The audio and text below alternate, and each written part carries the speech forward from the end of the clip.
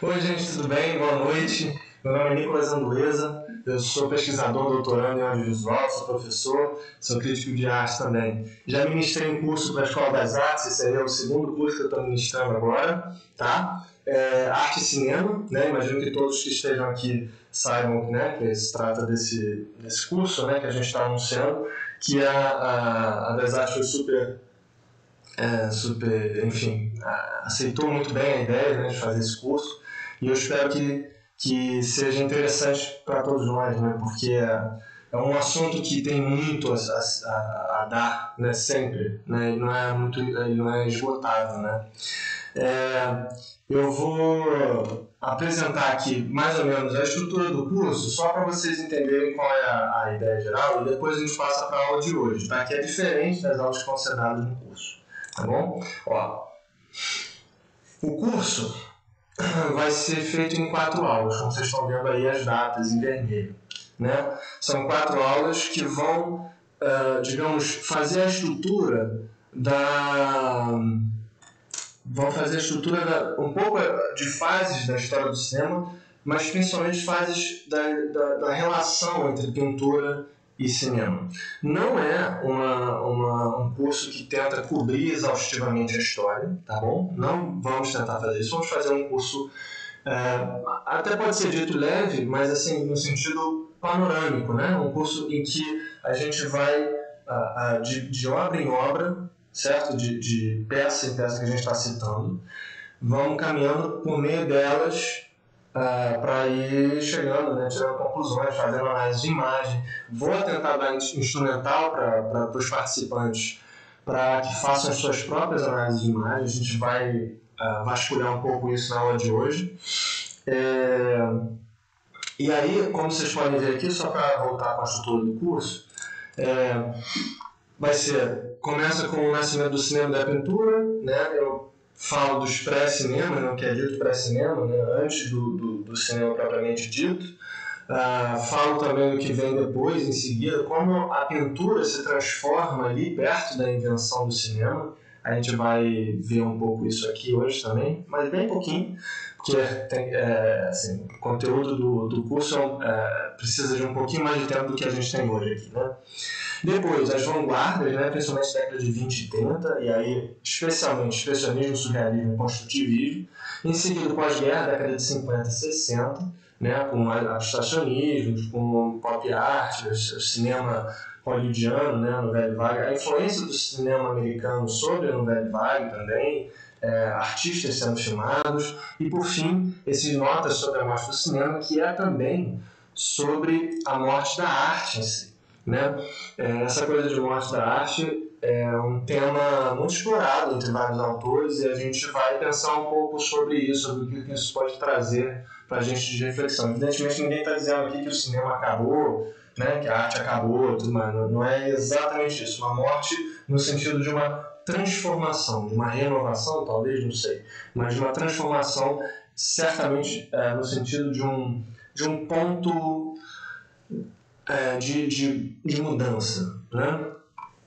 É, a seguir, a gente já começa aqui na, na, na, aula, deixa eu botar aqui.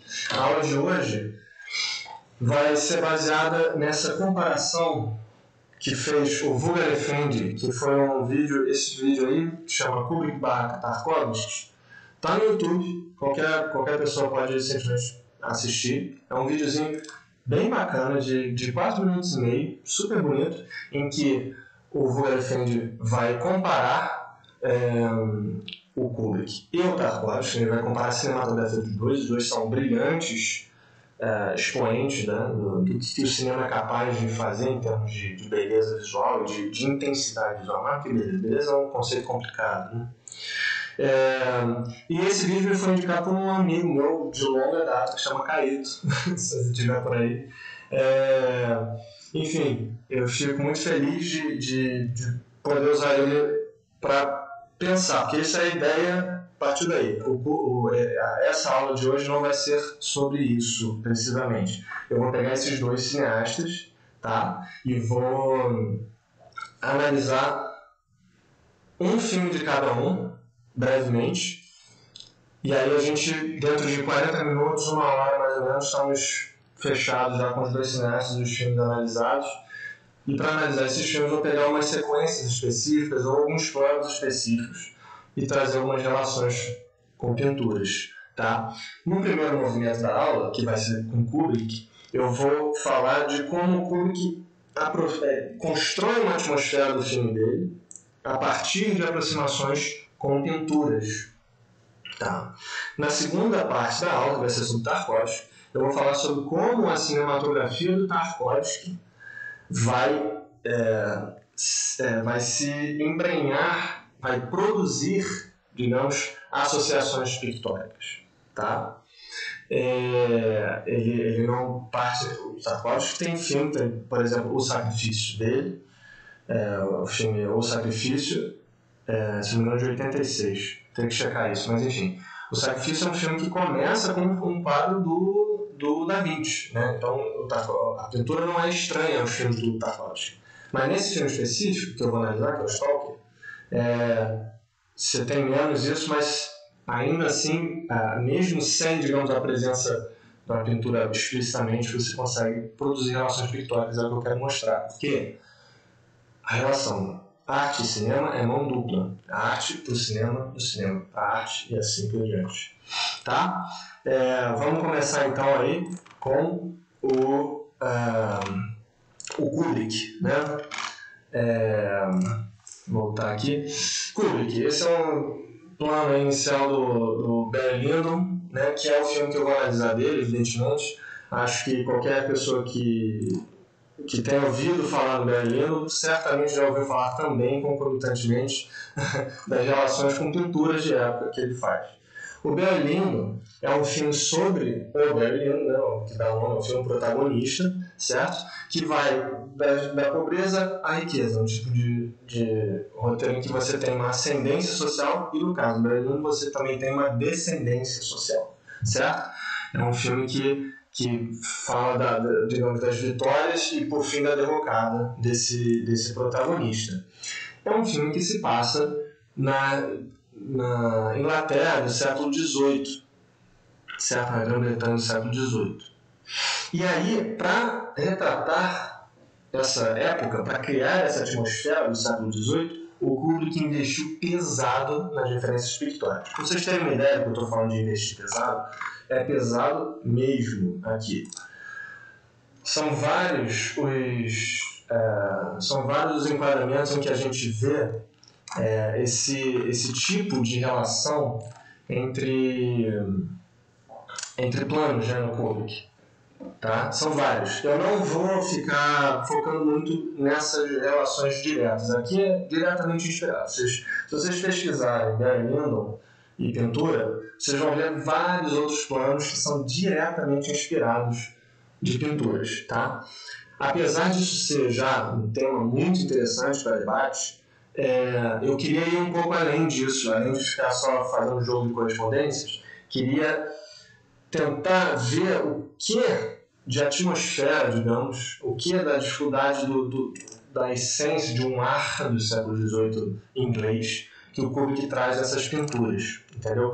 É uma, é uma empreitada um pouco mais delicada, um pouco mais difícil de fazer, mas eu acho que, que a partir dessa referência inicial aqui que eu passei, é, nesse quadro aí de paisagem do John Constable, dá para ver bem, é, já, já, dá para para ver bem, não, ainda, ainda não, ainda vou desenvolver, mas dá para ter um, uma ideia inicial do que, que é uma atmosfera né, de, desse século XVIII inglês. Então a gente passa aqui para outra pintura do John Constable, que é super famosa, que é a The Hay Wayne, de 1823. E eu queria falar inicialmente, até assim, essa parte do público vai ser bem pautada nesse assunto, das cores. Né? É, as cores você tem, evidentemente, a, pintura é uma herança, digamos, de trabalho com, com cores e formas, enfim. Então, você tem vários estudos sobre cores. Eu estou aqui propondo só uma coisa bem inicialzinha, que são as cores complementares. A gente tem as três cores primárias, que são do pigmento, são o vermelho, o amarelo e o azul, e tem o verde, que é meio que um, ele não é uma cor primária, mas ele é uma cor complementar do vermelho. Então você tem esse quadrilátero em que o azul complementa o amarelo, o vermelho complementa o verde. Né? Você tem essas, essas, digamos, é como um pequeno quebra-cabeça, digamos. Para uma, uma pintura acadêmica como essa, depois que eu falo isso, do verde, vermelho, azul e amarelo, tentem olhar para a pintura, que é esse curso também é sobre ensinar a analisar a imagem, não só ficar dando informações, né, é ensinar a, a pensar junto com a imagem, né, a imagem também pensa com a gente. É, tentem observar onde estão pontos verdes, vermelhos, azuis e amarelos na imagem. Para essa sequência vai ser muito importante. Esse slide aqui vai ajudar. São coisas representativas, não são exatamente o que está ali, uh, mas dá para entender como ele distribui certas cores quase é, indiscriminadamente, é, quase, quase insuspeitamente, digamos assim, sem suspeita nenhuma, ele coloca um, uma grama que não é exatamente verde ali no meio, é amarela. Ele coloca uma nuvem que tem tons mostarda ou, la, ou alaranjados. Ele coloca outra nuvem que é de um amarelinho, que vai contrastar esse amarelinho, vai contrastar justamente com o céu, que é o fundo da nuvem. Né? Então ele vai fazer esses jogos de composição pictórica e é claro, aí eu vou tirar aqui essa, essa, essa ilustração que eu fiz, vou manter só a imagem. E é claro, ali no meio, bem no centro, você tem uma paisagem, ou seja, uma paisagem verde, né? nesse caso, bastante. Constable tem muito essa coisa do verde, né? E no meio ali, ele jogou esses dois pontos vermelhos mesmo, claramente vermelhos, que é diferente do vermelho da, do telhado da casa, né? que é uma argila, meio barro tal. Ali tem pontos vermelhos e você produz assim uma composição pictórica que traz esse ar próprio né, de uma pintura com, com rigor técnico, né, com uma certa uh, com, com, com, uma atenção à composição detalhada das cores. Vocês veem ali lá atrás como a sombra das, das árvores não é verde, ela é azulada a sombra das árvores. A grama é azul embaixo da árvore. Né? A, a nuvem é cinza, é laranja em cima da árvore.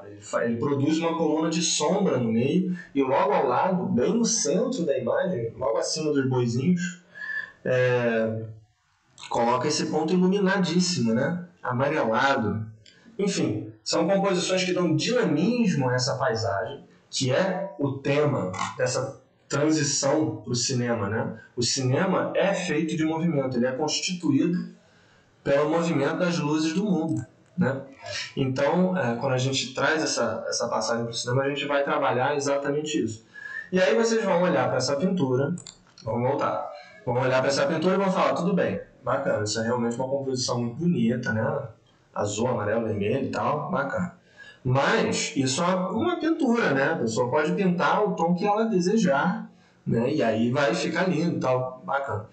É aí que entra o desafio do cinema, porque o cinema não, não pinta, né? Assim, hoje até com ferramentas digitais você tem um pouco essa, essa, digamos, essa flutuação entre o que você está captando e o produto final. Mas, né, quando o público não era tanto assim, e o público também, por ser esmerado na fotografia dele, do Alcott, né, que era o diretor de fotografia dele, é, não ia ficar só jogando para pós resolver, né, evidentemente. E aí é que ele se esmera, porque olha só que interessante o que ele faz.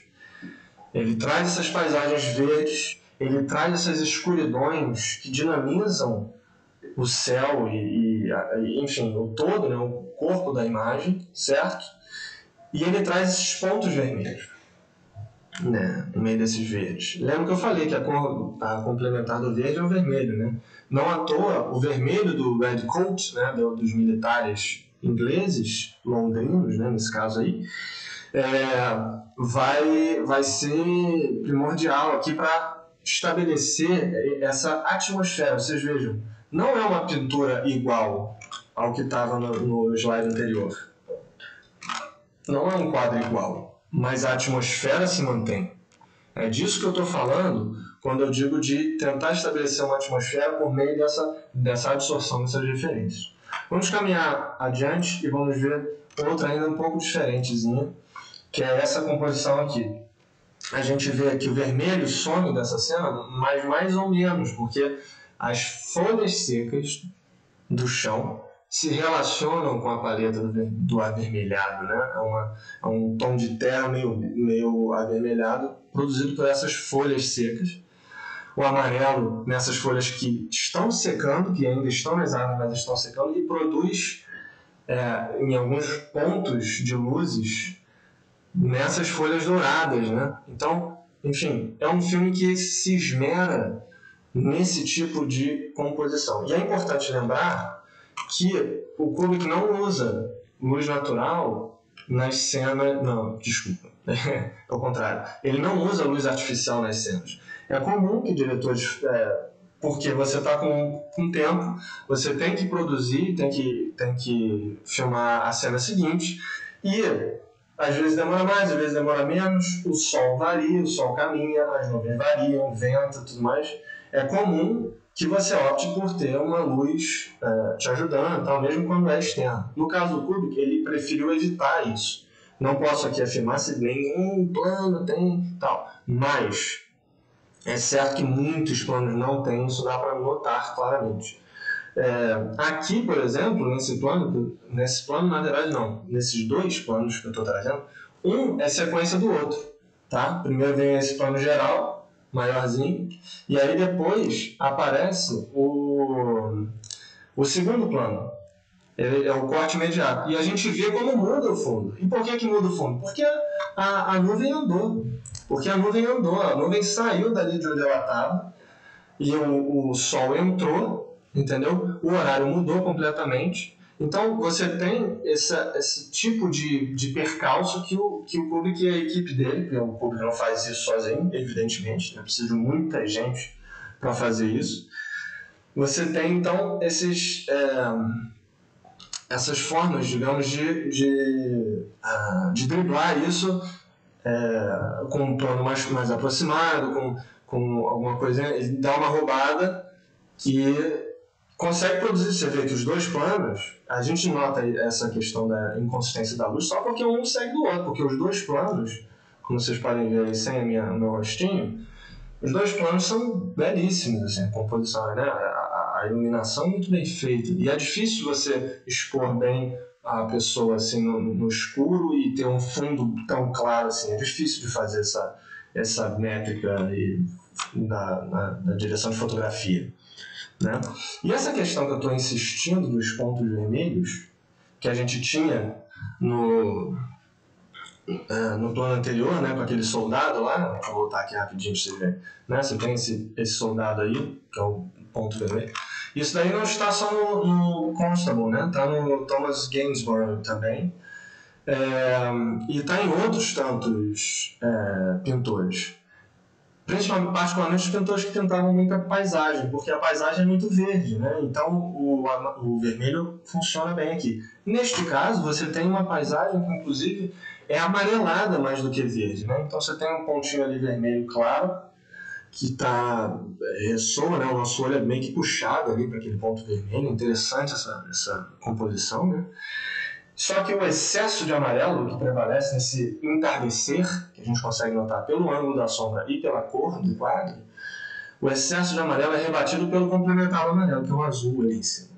Né? Então, tem essa, essa, essa relação aí de, de, de composição se mantém, mesmo quando a gente vai para outros cantos.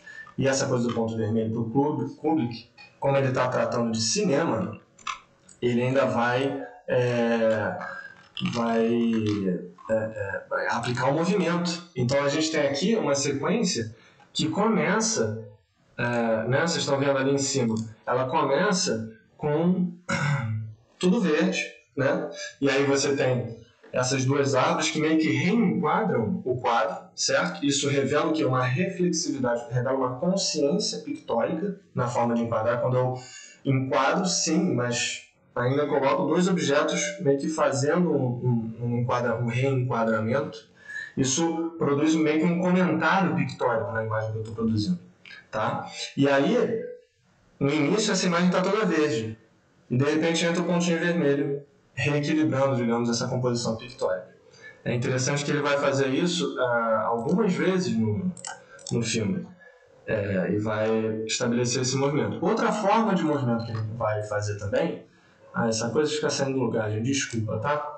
É, essa, essa outra coisa aqui de, de movimento que ele vai fazer também é, é um zoom out, que a gente chama de zoom out, quando você pega uma lente zoom né, e você volta com ela. Eles chegaram a inventar um motorzinho específico para fazer esse zoom out o mais fluido possível. E esse zoom out está em todo o filme, tem zoom in, zoom out direto, assim, isso é uma constante. E aqui nessa situação, a gente cria uma, uma um paradoxo, na verdade. Porque no, no, no quadro final, a sensação é que as pessoas estão se mexendo, mas não estão se mexendo né? Porque como os militares estão muito longe, a gente vê eles estão vindo para frente, mas eles nunca chegam até nós, certo? É, isso é interessante porque isso faz parte da dinâmica do tableau vivant, que a gente vai falar no próximo slide, mas antes eu queria comentar uma coisa que eu quase esqueço de comentar. Esse zoom, zoom out, ele tem uma função como aquela, né, que a gente viu da, da Desculpa, vou passar para mim.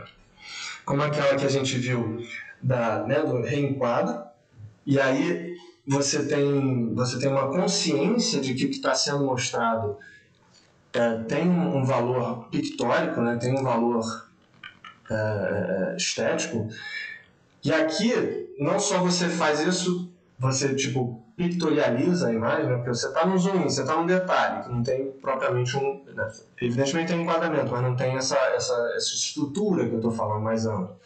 E aí você sai dela e vem para essa estrutura, que é exatamente o movimento que acontece aqui. Essas pessoas funcionam como a margem do quadro, digamos, e elas estão assistindo, ainda tem a atividade reflexiva do espectador estar na imagem, junto com a gente que está assistindo também a parada militar. Né? Então você tem essa função primeira de, de pictorializar a imagem, digamos, mas também tem a função pragmática de centrar as nossas atenções.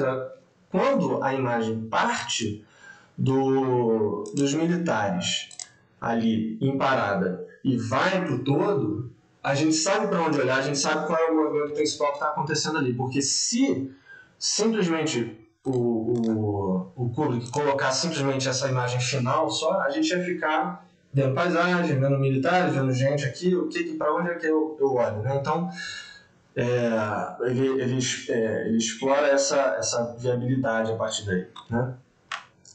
E aí, falar rapidamente do Tableau Vivant.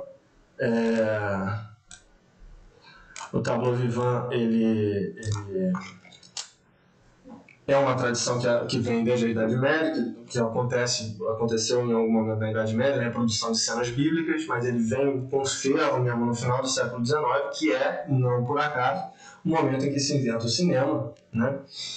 E esse tableau vivant é o quê? Vários, vários atores, ou, enfim, uma atriz, um ator, que se faziam imagem. Ou seja, eles ficavam parados, mas não só parados, eles faziam, digamos, as poses da, da, da tradição pictórica de um corpo e mudavam as coisas. Né? A gente vê filmes do Thomas Edison com isso, a gente vê filmes do Jorge Méliès com isso, são todos cineastas né, muito do início ali, né, do filme do cinema que se inicia. Né? E aqui nessa situação peguei essa imagem para falar porque vocês notem as posturas de todos os guardas olhando para o centro de interesse da imagem e e como eles estão colocados como se fossem pecinhas, né? Enfim. É... E aí tem, a gente pode passar para os interiores também, outra construção. Aqui menos verde, né? E muito mais azul e vermelho, que a gente vê algo semelhante em Oranzofane, né? Que é uma, uma, uma referência constante no filme, né? Aí vocês veem um quadro do azul né, da parede, do vestido aí, o vermelho dessa, da, da vestimenta dessa área indiana, que está inclusive citada no título, né, o casaco do, do senhor do coronel Blair aí, enfim, Não sei se é coronel a tradução, enfim. é, aqui outro, outro quadro dele que também exemplifica essa relação do azul e do verde, que você tem uma, uma relação mais do quente e do frio, que é uma relação um pouco mais válida do que a cor complementar, né? Verde e azul sendo frio e amarelo sendo quente. Né? Então é um, digamos, um campo um pouco mais amplo de relações, mas que ainda assim mantém um sentido de composição. E nesse caso aqui você tem um verde também entrando na cena ali à esquerda, os quadros ali tem um esverdeadozinho, né? É... Então falando dessas, dessas composições. E claro, não só não, esse não é o único referência né, do, do Kubrick também não podia deixar de citar o William Hogarth, que é um dos mais citados também nesse quadro, porque ele, vocês vão ver agora como ele vai para um, um plano do ó, a postura do, do, do cara deitado, sentado, meio jogado na cadeira é a mesma ali. E a cadeira derrubada também no chão aqui no primeiro plano, né? E ali no segundo plano ali atrás, na cadeira preta ali à esquerda. É, essa relação é muito interessante porque não é só uma cópia, né? Evidentemente tem um sentido. Porque o Hogarth, William Hogarth, o pintor, ele tem essa, esse teor satírico nele, né? esse teor de, de, de, de, digamos, atacar uma academia que faz umas composições, umas coisas muito austeras e tudo mais, e ele tem essa, essa, essa coisa de, de atacar essa hipotesia dessa sociedade construída em certos dispositivos. E aí o Kubrick também tem isso. Ele, os filmes dele têm um tom ácido, né? Quando, quando muito feliz eles têm um tom bem ácido, assim, tem, eles são filmes mais é, reflexivos, assim, mas é, não são filmes do, do happy end hollywoodiano, com certeza, né? E aí, o que... Ué, para... Ah, então, desculpa, já. Tava olhando aqui, não tava vendo a, a, a, o áudio aparecendo. Para mim, meu Deus, estou gravando, estou fazendo, estou fazendo uma transmissão aqui sem... É, e aí a... a é, voltando, peraí, desculpa. Então vocês têm é, pro Stanley Kubrick essa referência do Hogarth é muito importante porque ele também está traçando essa crítica a uma estrutura, a um dispositivo. Então, quando ele importa, isso é muito importante, quando ele importa os dispositivos pictóricos, quando ele evidencia esses dispositivos pictóricos, ele também está evidenciando os dispositivos sociais que produzem essas representações.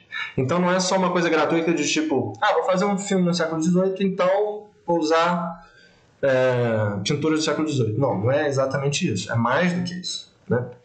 Ah, também não é uma coisa de, ah, eu quero ser realista. Não, é mais do que isso. Né? É uma coisa de disso tudo também, de um prazer mesmo de virtuosidade, né, de uma majestade a cada plano, né, mas também é, de, de trazer esses dispositivos à tona, como tudo é pictórico, tudo é imagem né, que a gente está falando. Por fim, claro, não podia deixar de citar a cena, as cenas das velas, né? E aí, como referência talvez mais impactante, pictórica, a gente tenha o Joseph Derby, né, que é que trabalha muito esse claro escuro assim bem contrastante. Vocês veem aqui nessa situação aqui. E isso é uma câmera que na é né, uma lente que foi criada pela NASA, né? E o Kubrick conseguiu aí ter acesso a ela. Era uma lente 50 Zeiss 0.7 e para quem entende de câmera isso é, isso é bastante aberta, bastante rápida a lente, né? É, e a gente vê até distorção óptica ali. Vocês veem que a vela esquerda, no canto esquerdo ali do, do senhor, está, é, está mais longa, né, para cima, assim. É uma distorção óptica da lente que ela está bem no limite ali do que ela é capaz de, de fazer. Chegamos ao fim da primeira, primeira metade, tá? Agora vamos passar para o Tarkovsky. Tarkovsky é um cineasta russo, né? Ele faz filmes. Ah, eu Putz, eu esqueci de, de, introduzir o Kubrick, né? O Kubrick tem vários outros filmes, evidentemente, né? Ele é super famoso, não sei nem se precisa tanto assim de introdução, mas o 2001, Odisseia no Espaço, a Laranja Mecânica, daria para trazer vários, várias relações, né? O 2001 com minimalismo, né? Com aquele bloco único, assim, né? Discutir minimalismo a partir de 2000 é muito interessante, discutir pop art a partir do Laranja Mecânica, várias outras referências e filmes de muito, muito impacto, normalmente, né? É, vamos lá, voltando para o Tarkovsky. O Tarkovsky, cineasta russo, ele começa produzindo na década de 50, né? E produz mais, assim, na década de 60 e 70, tendo alguns filmes em 80 também. E é, é um cara muito letrado, né? Ele, ele tem muitas referências de poesia, de literatura, tem referências pictóricas. O filme, por exemplo, O Sacrifício dele começa com um quadro do Da Vinci, né? É, mas eu quis pegar Stalker, que não tem um quadro que comece, não tem um, né, uma, uma, pintura de referência como fez o, o Kubrick. Como eu falei, a primeira metade da aula a gente já vê essa coisa da referência mais próxima. Aqui não é bem isso, porque a mão é dupla, né? Então, é como, como os nossos imaginários podem ser ativados por esses filmes. E de propósito, até para marcar essa diferença, eu começo com um plano inicial do Stalker, que é o filme que eu vou analisar brevemente aqui, é, nesses, sei lá, 15 minutos finais que nos faltam aqui de conversa. É, que é, é um filme de, 70, é, de 79, já fala 75, 79, é uma ficção científica, né, em que, e pós-apocalíptica, né, em que você, é, as pessoas vivem numa situação completamente pauperizada, a gente vê pela, pela questão aí da, da, tirar aqui o, tirar o copo para vocês verem melhor, a gente vê aí uma situação bastante pauperizada, né? E, e isso é meio que o todo assim, da civilização depois desse, desse meio apocalipse que rolou. E esse apocalipse aconteceu porque algo de misterioso ocorreu no mundo que se formou uma tal de uma zona, que é um lugar, um espaço proibido, é, que se chama zona, que é, tem, por ser proibido, enfim, naturalmente criou-se várias lendas né, de, de do, do que, que acontece lá e tudo mais. E aí, uma dessas que a gente não sabe se é verdade ou se não é, não fica tão estabelecido no filme. O filme é, é um realismo fantástico, enfim, ele tem uma, uma coisa assim mais ampla, não está muito preocupado com a verdade literal, né? É, apesar de ter uma textura né, bem, bem concreta, né? É, Ah, uma dessas coisas é que a, a, zona realiza os desejos de quem chega lá nela, consegue chegar e, e, e, e, faz o desejo, né? Se tiver o coração puro. É uma coisa um pouco que lembra um pouco aquele arquétipo do Mágico de Oz, né? Enfim. É, e ali é um caminho cheio de complicações, de perigos, de risco de vida. E o Stalker, que dá nome ao filme Stalker, é o tipo de gente que tem como função guiar as pessoas e levar as pessoas à zona e voltar com elas, que é uma missão extremamente arriscada porque as autoridades não deixam sair, então você tem que sair, fugir do, do fogo, as pessoas atiram mesmo para não sair e tem que fugir, fugir e entrar lá na, na zona e a zona em si representa vários perigos. Então, enfim, é uma situação complexa e o Stalker então tem essa missão de levar as pessoas à zona para fazê-las entrar em contato com a zona. E aqui no Tarkovsky, eu queria mostrar especificamente, eu vou mostrar um, um, planinho só para a gente perceber que o Tarkovsky também faz aquele tipo de enquadramento que eu comentei, aquele enquadramento reflexivo, e aqui nessas cenas especificamente é bem mais potente porque esse, esse, nesse momento a câmera entra num, num carro que tem com essa janela. O Stalker, que é esse camarada. Não, o Stalker está lá na frente. Um desses esse camarada careca, sem o, sem o capuz, sem o gorro, né? Vira para trás e fala: ah, as pessoas vieram mesmo aqui assistir. Assistir, claro, né, a um suposto evento traumático que nós, espectadores, não temos acesso. Um evento traumático, apocalíptico e tudo mais. Né? É, e ele vira pra gente, pra gente e fala: ah, as pessoas vieram mesmo assistir e tudo mais. Então ele está falando da realidade diegética dele, mas é óbvio que é uma dubiedade aí. É esse que eu estou propondo com esse título aí em cima, a reflexividade. É uma dubiedade, uma coisa reflexiva mesmo. Isso, enfim, todos os filmes de Tarkovsky, isso não é uma, uma coisa do, do Stalker, mas no Stalker tem essa cena que evidencia isso. E aí, a gente passa para o momento que eu quero exibir para vocês, que é um momento um pouco mais para vocês entrarem assim dentro da, da do filme, uma, uma coisa mais imersiva, digamos. A gente vai assistir alguns é, pouquíssimo tempo, uns dois minutinhos de filme. É, e, e é um momento em que eles já estão na zona e aí os três dormem. São três caras que vão. E aí o Stalker começa a sonhar. Pode ser um pouco sobre questões dele, pode ser sob influência da própria zona, da voz da zona falando com ele. Tem um monte de, de interpretações possíveis, mas o sonho é denso. E ele. É, é enfim, eu vou, eu vou mostrar para vocês porque é, é mais, mais apropriado, digamos.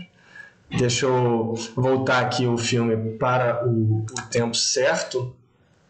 É 24 e 50 aqui. Beleza. Aí Aqui, vamos lá. Então vamos lá.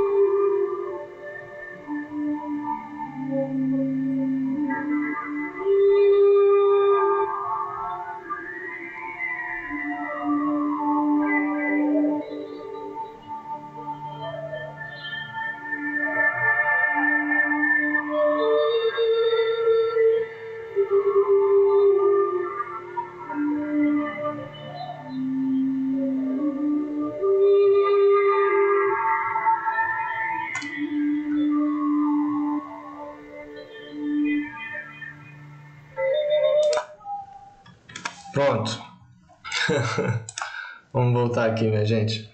É...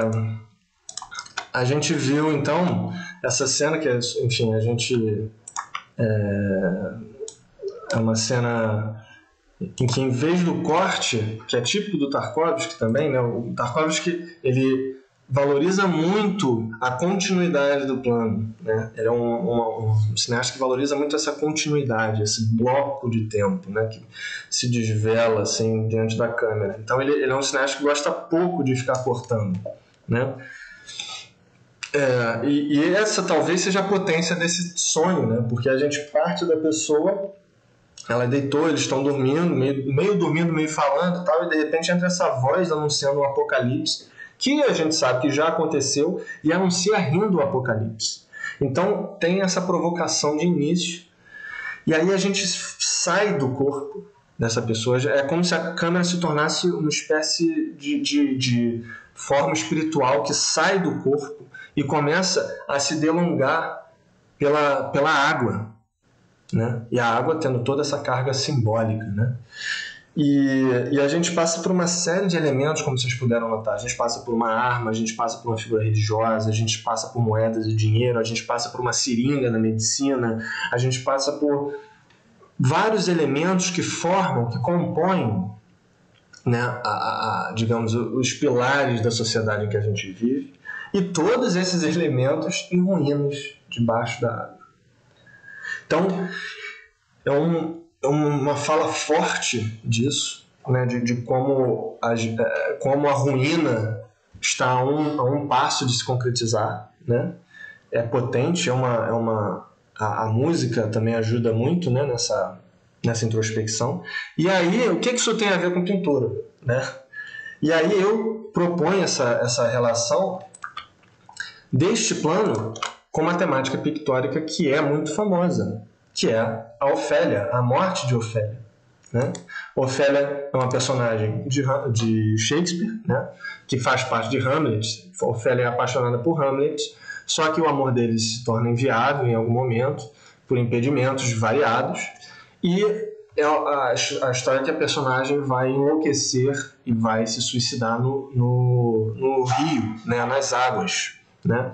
E aí isso provocou uma série de imagens. Essa talvez seja a mais famosa, mas a gente pode ver Ofélias também de Delacroix e de Dali. Né? É, são imagens potentes que produzem essa situação de um corpo feminino que vai pelas águas. É, e indo mais adiante, além desses dois, também duas mulheres brasileiras que fizeram suas referências. Uma delas a Estela Socol, que eu tive a honra de escrever uma criticazinha sobre a exposição A Morte das Ofélias, em 2011. E Helena, que é da Petra Costa, né, o filme documentário da Petra Costa, que usa muito fortemente esse imaginário da Ofélia. Né? Vocês podem ver aí a mulher na, é, na água, né? usa esse imaginário da Ofélia. E aí, voltando àquela situação ali que a gente estava, só para pegar como referência, é, é interessante como ele saindo, ele produz, o, o Tarkovsky mesmo produz o, o é, essa situação né, da, dessa reflexividade, como a gente sente como se fosse uma espécie de corte para uma outra imagem, mas não é corte é uma imagem fluida, contínua, que parece que nunca vai parar, né? E você vai se alongando e aí o fluxo da água vira o fluxo da câmera, a água passa a cruzar o imaterial e o material numa coisa só. E eu escolhi essa imagem dos peixes justamente de novo aí, assim, o extremo do extremo, a reflexividade total que é você bota uma água que já tem já tem encarado uma, um sentido de espelho da água também, e aí, depois de botar água, que tem um espelho d'água, você bota um espelho, em cima do espelho d'água você bota um aquário cheio de peixe, que tem o vidro. Então, assim, é, é assim, uma hiper, uma hipérbole de reflexos, de reflexividade, para voltar a essa questão da imagem, que é o que realmente importa nessa discussão nossa. Né? Com isso, com essa análise, eu vou concluindo aqui a aula de hoje. Isso são só provocações, eu não quis dar conta do Stalker, não quis dar conta do Berlindo, nem dos, dos autores, evidentemente. Se cometi alguns enganos, é, favor desculpar aí, mas é, esse momento de, de aula é sempre empolgante, a gente vai falando, né? E eu espero que, que, que tenha deixado, assim, uma, uma vontade de continuar assistindo né, os cursos. É, aqui, como referência, eu trago o slide final, é, lembrando que para quem assistiu a aula, tem 15% de desconto na matrícula, isso é, isso é importante lembrar. E, de novo, a gente vai fazer quatro aulinhas, quartas-feiras, 19h30, tá? A partir de semana que vem já, então tem que correr mesmo para se inscrever, porque é, começa né, já, já na pré-matrícula agora, e aí amanhã abrem-se as matrículas oficialmente, tá? E, enfim, é para é a gente discutir tudo, todas essas imagens e muito mais que a gente vai, é, vai caminhar pelo curso, né? Começando pelo início do cinema, pegando pintura rupestre, aí vamos passar por, por vários pintores importantes, vários artistas também importantes, é, da vanguarda, enfim, a gente vai fazer uma miscelânea, mas tudo nesse esquema aqui, tudo obra a obra, organizadamente, compreensivelmente, trazendo referências quando necessário e é, tentando ensinar também a vocês fazerem suas próprias análises, a vocês acompanharem a aula fazendo comigo a análise da imagem tá? É, gente, muito obrigado por todos, pela atenção de todos, tá? Eu agradeço imenso a Das Artes pela, pela oportunidade de, de ministrar mais um curso. Estou muito animado para começar e a gente se vê na próxima porta.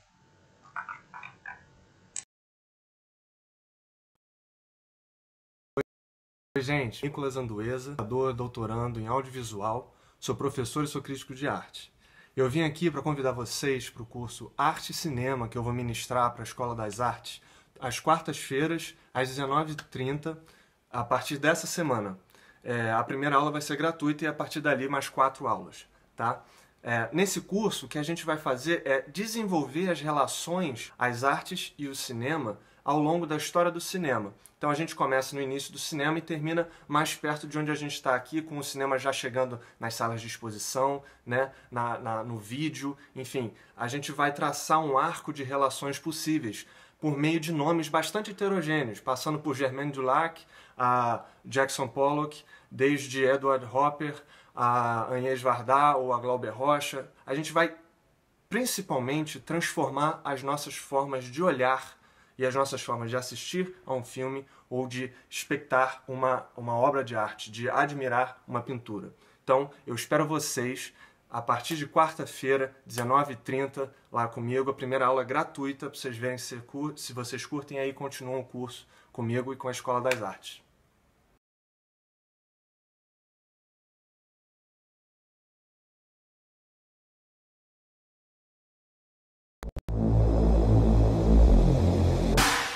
Olá pessoal, meu nome é Liege Jung, eu sou diretora da Das Artes há 12 anos e viciada em arte.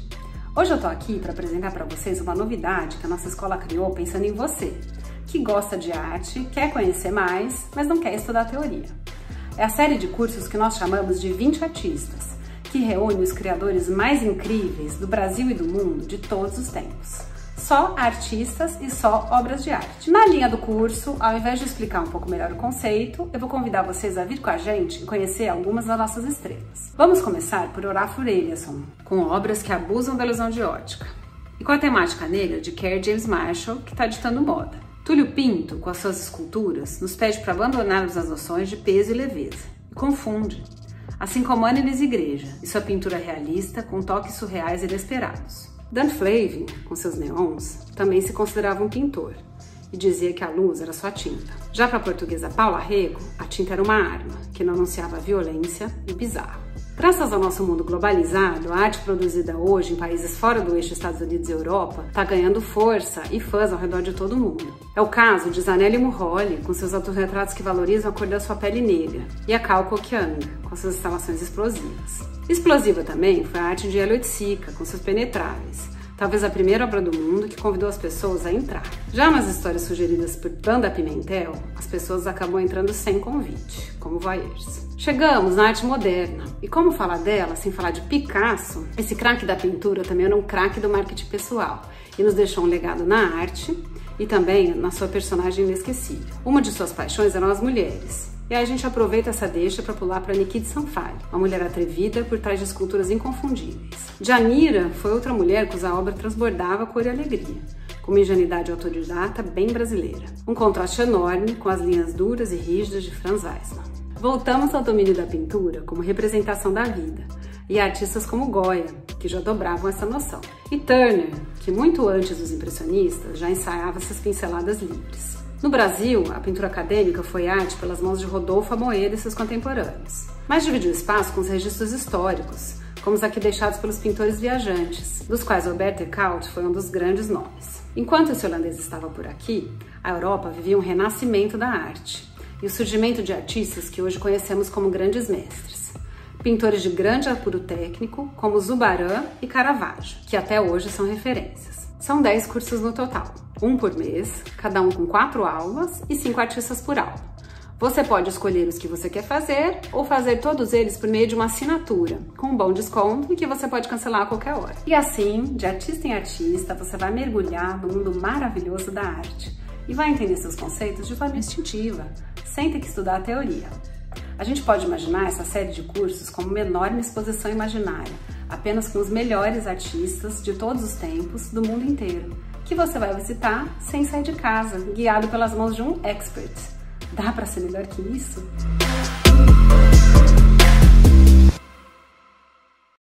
Oi, gente, meu nome é Nicolas Anduesa, eu sou pesquisador, doutorando em audiovisual, sou professor e sou crítico de arte. Eu vim aqui para convidar vocês para o curso Arte e Cinema que eu vou ministrar para a Escola das Artes às quartas-feiras, às 19h30, a partir dessa semana. É, a primeira aula vai ser gratuita e a partir dali mais quatro aulas. Tá? É, nesse curso, o que a gente vai fazer é desenvolver as relações entre as artes e o cinema ao longo da história do cinema. Então a gente começa no início do cinema e termina mais perto de onde a gente está aqui, com o cinema já chegando nas salas de exposição, né, na, na, no vídeo, enfim. A gente vai traçar um arco de relações possíveis por meio de nomes bastante heterogêneos, passando por Germaine Dulac, a Jackson Pollock, desde Edward Hopper, a Agnès Varda ou a Glauber Rocha. A gente vai principalmente transformar as nossas formas de olhar e as nossas formas de assistir a um filme ou de espectar uma, uma obra de arte, de admirar uma pintura. Então, eu espero vocês a partir de quarta-feira, 19h30, lá comigo. A primeira aula é gratuita para vocês verem se, se vocês curtem aí continuam o curso comigo e com a Escola das Artes.